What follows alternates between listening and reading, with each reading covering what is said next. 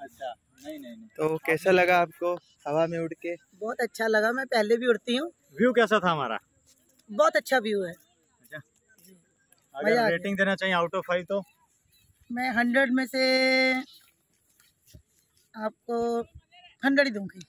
Thank you thank you so much